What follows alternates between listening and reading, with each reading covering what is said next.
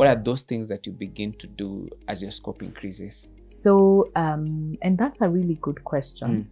Because when we come from uni, I Mhm. think there are times when students have this attitude, and I've sort of like had a chance to work with a few. Mm. I know it all. Mm. So you give them a job like picking phone calls Mhm. to organize meetings, and they feel that is below them. Mm. But you don't realize that that's part of what is growing you, Mm. you know, to become who you eventually will. Right. Because it is in, in making these phone calls. So I would Mhm. make phone calls to Mhm. organize for meetings. Mhm. So we would have, um, let's say, like we are organizing the dissemination of the kind of work. We have a list of who Yeah. have everything, organize the contact Mhm, list mhm. and all that. Put Mm. together, let's say, hundred people, and spend days just talking to Mm. people. Mm. And you recognize that sometimes you'll catch someone on a bad day, Mm. and so they are really impatient with you Mm. on the other side. Mm. But you know, you are building your Mm. capacity to Mm. negotiate and Mm. to deal with people. Mm.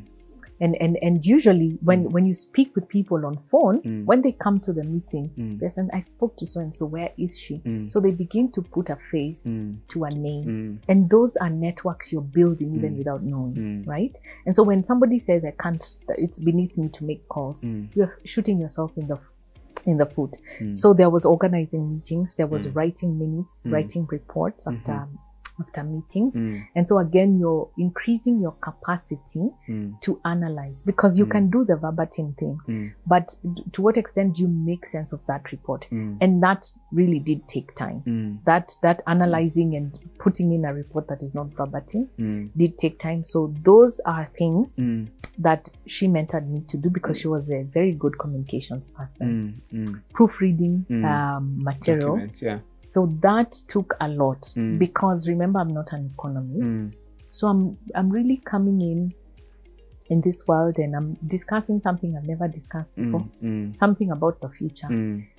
And it was a daunting task, Mm. but it then begins to help Mm. me to get into the world of research Mm. and you know Mm. analysis and Mm. writing Mm. even. Mm. Mm. Uh, reading people's papers Mm. made me so good at Mm. understanding different topics Mm. So that later in life Mm. I, when I became a researcher and I do that for a living, Mm. it was so easy. And, and even when you make presentations, you Mm. really sound clever because Mm. you have this kind of information Mm. um, that other people are not predisposed to unless Mm. they read those reports. So th- that that really expanded uh, me. The other big one. So at this point in time, we were now beginning to take this work out. Mm. And Angie would just tell me, okay, Mm. so we were going, and Mm. she's the one who's to present, and she Mm. says, now you've seen me four times present, Mm. go and present. Oh wow. Oh my goodness. Mm. I remember the first time.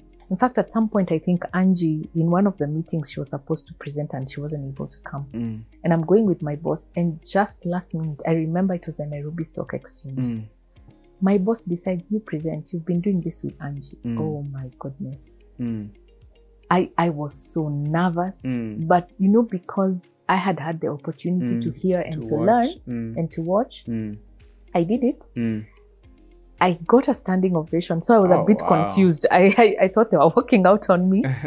but my boss was very gracious to be able to answer the questions because I wasn't able to as eloquently as she had. Mm. Also, partly because she had been part of the process. Mm. But that, you know, allowed me then as we were going back to the office, she would tell me, oh, for this slide, it's Mm. better to say it this way Mm. and that way. Mm. So Mm. that grace, that Mm. mentoring, Mm. I ended up then doing 360 workshops around the country. still as a program now assistant. as an assistant program officer. Mm, mm, yeah. But still, yeah. it's It was, part of the growth, yeah. Yes, it was Mm. part of growth, Mm. but it, it was wonderful. Mm, mm, 360 workshops? 360 every corner of this country.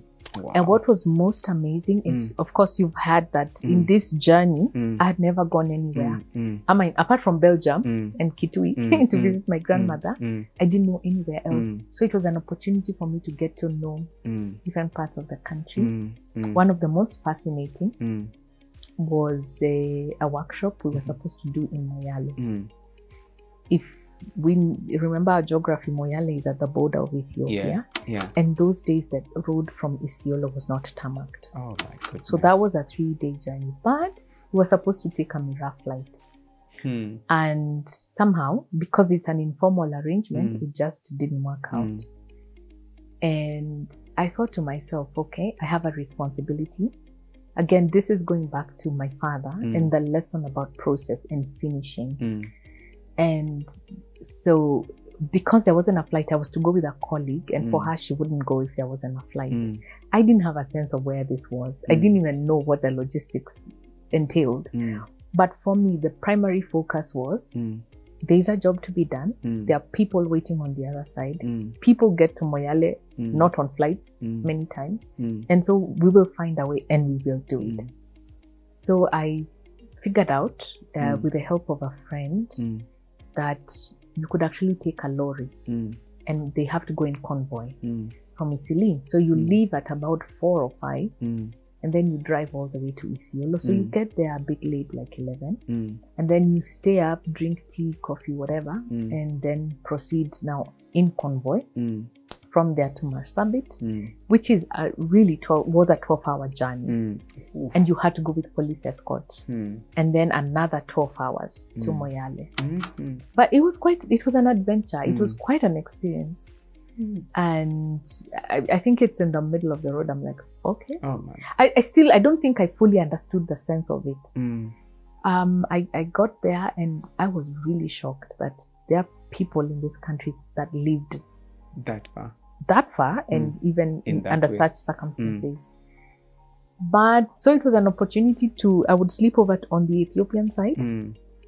Cross and back. cross back. Mm. And that was just amazing, did my thing. Mm.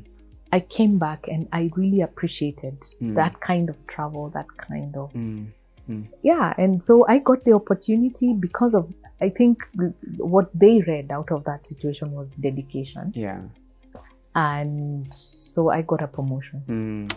And eventually my boss left, so I became the The program, program officer. officer Yes. And now I was in charge of of the entire futures program. entire futures program. I want to hear about what that looked like at that leadership level, but also what futures is. You know, so you've been mentioning futures. yeah. And and and and um, Yeah. that's a concept I want to hear about. Mhm. We'll be we'll be right back.